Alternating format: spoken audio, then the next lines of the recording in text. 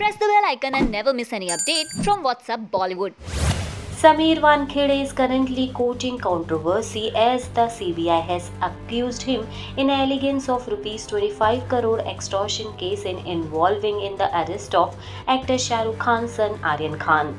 In his defense, Wankhede filed a plea in Bombay High Court stating that the CBI's action against him is an act of revenge.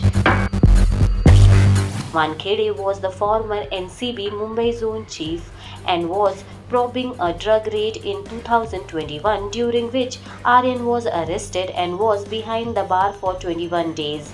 In his plea, Wankhede has attached screenshot of his elegant conversation with Shah Rukh Khan where the superstar is seen begging him to spare his son.